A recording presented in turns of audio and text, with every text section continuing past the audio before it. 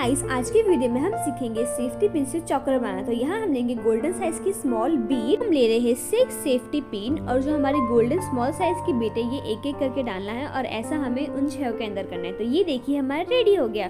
उसके बाद हम लेंगे गोल्डन जंप रिंग और ये सेफ्टी पिन उसमें डालना है। और ऐसा हमें सारे सेफ्टी के पिन के साथ करना है। सो गाइस हमारे चैनल पे वन लाख सब्सक्राइबर्स हो चुके तो ये सब सिर्फ़ आपकी वजह से हुआ था। Thank you so much for this so हमने वन लाख सब्सक्राइबर तो रीच कर लिए, पर लेकिन हमारे इंस्टाग्राम पे सिर्फ़ 800 सब्सक्राइबर्स है। तो प्लीज़ आइए फॉलो कीजिए। कमेंट बॉक्स में लिंक है।